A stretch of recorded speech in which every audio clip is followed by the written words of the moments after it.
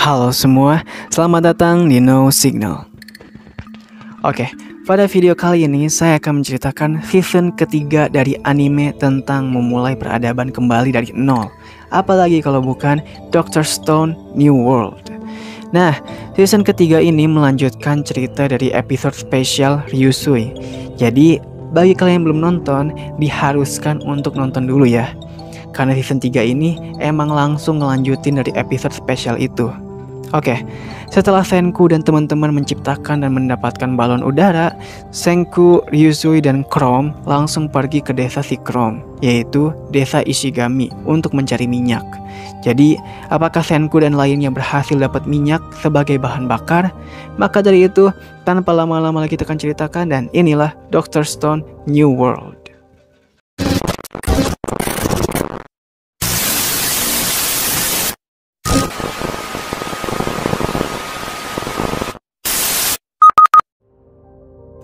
Cerita dilanjutkan dengan Senku dan lainnya berhasil mendarat di desa Ishigami.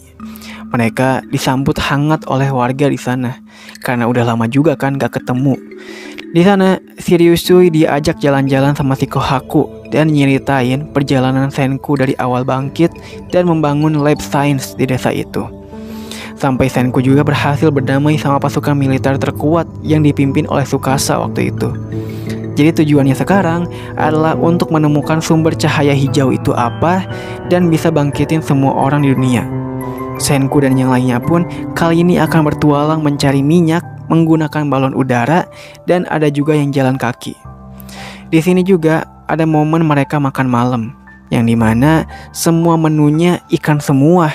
Hal itu membuat Ryusui kesal karena dia hanya akan makan sama ikan terus gitu kan. Dia pun bertekad untuk cepat dapetin minyak dan makanan yang lebih enak kayak daging. Besoknya, pencarian pun dimulai. Mereka dibagi dua kelompok. Di balon ada Senku, Ryusui, dan Kohaku. Di bawah ada Chrome dan Ukyo. Di sana, mereka berhasil nemuin pohon cedar. Terus, mereka juga berhasil nemuin kawasan para kambing liar. Maka dari hasil pencarian itu, Senku memetakan daratan untuk membuat peta baru supaya memudahkan mereka buat menemukan ladang minyak Sagara. Di sana juga mereka sempat makan daging kambing yang udah diburu tadi. Ryusui pun menyadari pertumbuhan warga desa itu gak terlalu bagus. Itu karena kurangnya pasokan makanan. Mereka makan ikan dengan memancing juga pasti ada batasnya.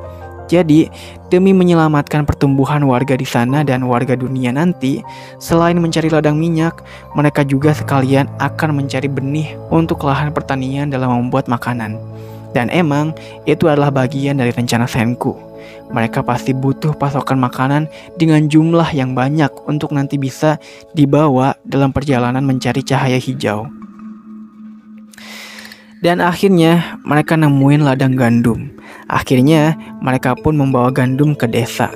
Dan mereka berencana membuat biskuit karena bisa tahan lama biskuit tuh. Nah, karena gandumnya nggak banyak, maka mereka juga akan bercocok tanam untuk menambah jumlahnya menjadi semakin lebih banyak.